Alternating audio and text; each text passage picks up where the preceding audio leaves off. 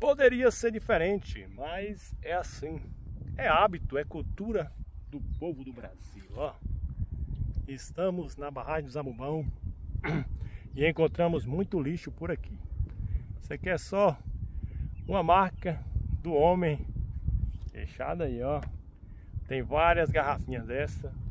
Tem um monte de sacola. Vai ser o jeito depois vir aqui fazer o recolhimento. Agora estou aqui fazendo conteúdo. Não vou poder carregá-las, mas, de... mas depois, quem sabe, eu voltarei para ajudar um pouco o meio ambiente, né?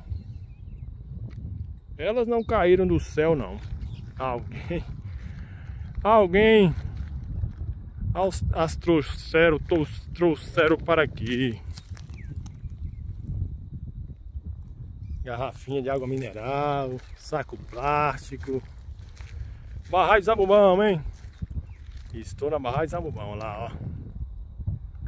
Sacolas, várias garrafinhas.